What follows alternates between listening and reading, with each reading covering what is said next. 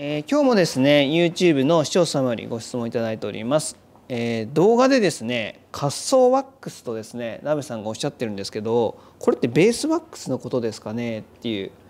質問いただいてますので皆さん多分そこら辺のところこう語句みたいな部分が分かってなかったりとかあるかもしれないのでそのあたりちょっと分かりやすくご解説いただけると嬉しいです、はい、よろしくお願いします。はいお願いします。はい。あのまあ基本的にそのなんだろう。えー、っと汚れ取りのワックスってあんまりこう滑らないものが多くて、はい、あの柔らかくて、はい、でそれを滑る、まあ、滑るようにこう、まあ、雪の例えば雪温とかですね気温とかみたいなものにこう合わせていくものっていうのが、はい、あのもちろんこれは滑らせるためのワックスなんですけど、はい、結局あのあの、ま、混ざり物がない。例えば昔で、まあ、まあ昔じゃない。今でもフッ素は出てますけど、うん、あのその滑らせるためのことをこうあのものをこう要は混ぜているっていうものが、はい、まあその要はトップワックスって言ったりその、はい、その要はベースに塗っていくあのまあそういった、まあ、滑る滑らんは別として潤い潤いを与えていくような、はい、あのものがその栄養クリームみたいなものがその今のベースに塗っていくワックスはもうみんなベースワックスなんですよねそれって。だけどそれそのままでも滑るものもあるっていうのが、はい、その上に乗ってくるトップワックスになったりとかしていくわけですけど、はい、まあ、ほとんど今そのなんだろう汚れ取りであまり滑らないとか、はい、というワックスをを、まあ、安い安く手に入るんですけど、はい、そういうワックスってその潤いだけに使うワックスみたいなものっていうのは、はい、あまり使わなくなってきてるのかなというふうに思いますね。だからもう滑るワックスがもうベースに、はい、あのでそれの柔らかいワックスが汚れ取りにみたいな、はい、という発想が僕の中にはあって、はい、まあ、少しでも滑るワックスを入れてあげた方がいいんじゃないかなって言って。中からあの染み出してきても、はい、それで滑るっていう。例えば本当ブラシだけでも滑るみたいな。あはいはい、それがもうあのベースに使われてれば、はい、だからもうそのまあ、新品の状態、もしくはそのチューンアップを上がった状態、はい、でそこに塗るワックスがベースワックスなんですあはいなるほどなるほど、という発想なんですよね。だからそれがその、まあ、パラフィンと言われてるものがあの使われるんですけど、はい、その、まあ、ローローみたいなものですよね。はい、でそれの滑るまあ、ものがあのを使った方がいいなという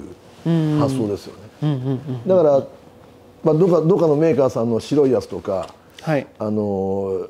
それこそどっかのメーカーさんのその何でしょう、まあ、潤いだけっていうかその、はい、あの仮想面が酸化しないようにするために入れるワックスっていうのは、はい、もう安いワックスですよね。はい、あのまあチューンナップ屋さんでも持ってるそのこうたらいにあるみたいな、はいはいはい、バケツに入ってるようなワックスっていうのは、はい、ほぼ滑りにくいものが多いので、あんまりそういうのをまあ場合によってはそういうのを使ってそれをベースにしてその上にこう滑るワックスをこう入れていくっていうことをやっていくんですけど、うん、もう最初からその染み込むんであれば滑るワックスを入れた方がいいみたいな発想があるっていう。なるほどなるほど。なのでその最初から例えばフッ素を入れるとか、はい、そういうことをする人もお見えになりますけどあそうなんですか、まあ、ありますあります。あの、はい、トップワックスに使うようなものを入れたりする人もいるんですけど、はい、ただどちらにしてもその重ねていくっていう、はい、その順番にはい、あのやっぱり潤いを与えながらも滑る、はい、それであの少し固めていくっていうパターンで、はい、まあ、最後に固く仕上げておいてから、まあ、柔らかいワックスを入れるのか、あのまた硬いワックスを入れるのかっていうのは節音によってとかその気温によってあの、い、ろいろ試してみるのも楽しいっていう。だからちょっと難しいかなとという部分を考えないで、はい、そんなふうに思わないで、はい、あのベースに使うそのまあそのローっていうかパラフィンは、はい、あのなるべく滑る滑ると言われてるものを使った方がいいということですよね。だから汚れ取りだけに使うようなワックスを使ってもいいんですけど、はいはい、またあの二度手間になるわけじゃないですか。はい、まただっただったら滑るワックスで汚れを取った方がいいなるほど発想をね、を勝手に思ってるっていうことです。なるほど。まあそれで実際ね、チューンアップで仕上げられてる時もその滑りやすいワックスでやってるからなんかそうですよね。だからいいお声いただいたりとか、はい、そうなんですよ。だからあのいやこれはでもそのえっ、ー、とまあうちの加工がよく走るって言われるのはありがたいんですけどそれは多分ワックスのおかげだと思うんですよね。まあそれだけじゃないと思うんですけど、まあ、そうだと思うんでいやそれだけではないと思いますよ。まあそんな別に計算とかしてるわけじゃなくて、はいはい、あのチューナップは本当に皆さんチューナップショップさんの方っていうのは、はい、あのベース作りと考えて見えて。でそれでそれを本当はこう個々が個人の人たちが、やっぱりある程度その知識を得てそれを走るようにしていくっていうのがあのそういう発想は皆さん持って見えてもちろん僕もそう思うんですよね。はい、だからその情報をこう出して発信してるわけじゃないですか。はいはい、だけどそれをあのいやいかにあのあこれ昨日走ったなっていうのが、うん、それが一つなんだあのその人その人がこう、はい、の何レシピが出てできていくわけですよね。はいはい、でそれが楽しいベルっていう。だから雪はもう毎回変わるんですけどそれにある程度合っていくと、はい、めちゃめちゃその日が楽しいっていうのが出てくると思うんです。だからよく走るスキーやスノーボードであれば当然あの上手にもなるし、はい、あのもちろん楽しい。滑らない板はそれもうそんなにもうなんだろうな楽しくなくなっちゃったり滑らない板っていうのはもうやっぱ上手にもなりませんのでうまくもならないのでだからそう考えたらその今のワックス主体なのかなという。だから皆さんベースは作るっていう。僕らもベースは作っていって、はい、まあ少しでも走る状態を作っていく、まあ、発想でを持って見えるところであればそうするし、うんうんうん、でもまああとは自分でやるんですよっていうことが本当は普通なんですよね。うんうんうんうん、だから、まあ、さっきもう一回戻りますけどその じゃあその汚れ取りのワックスっていうのはあまり走らないものが多いので、うん、あのもう汚れ取りじゃなく走る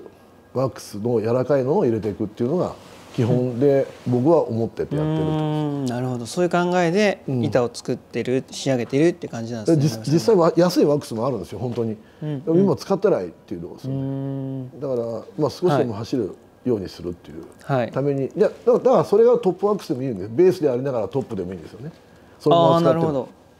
まあなんかほぼ一緒みたいななんかそんな感じですよね汚れ取りしながら、はい、次の時もそのままあの、うん、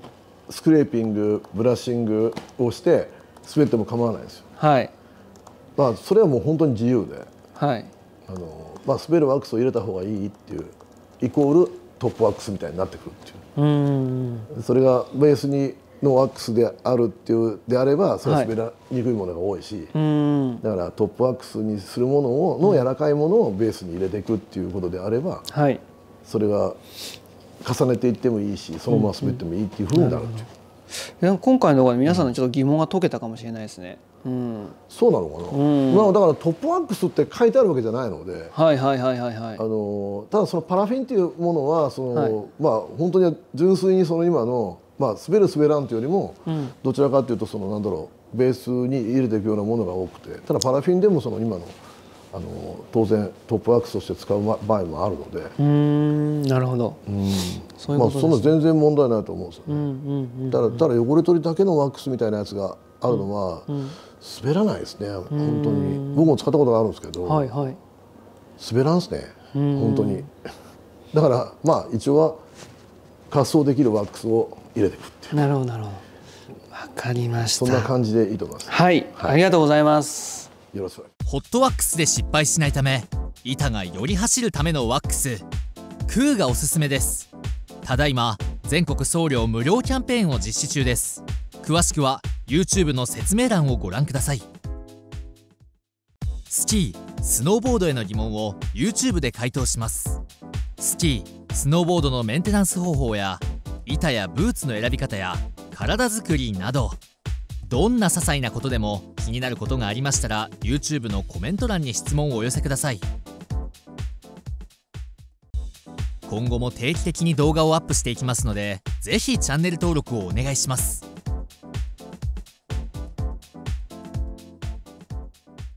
はい、えー、ただいま、えー、チューンアップのキャンペーンを始めました。えー、っとですね下にある URL をですね、えー、またクリックしていただければまたその方法なり、えー、と説明が出てますのでよろしくお願いします。おかげさまで多くの方に板が走るようになって滑りやすくなったとお喜びの声をいただいています。板のチューンナップでお悩みの方はお気軽にご相談ください。スキースノーボードのベースワックスをしっかり行いたい方走る板を作りたい方へサーモバッグのキャンペーンを行っています。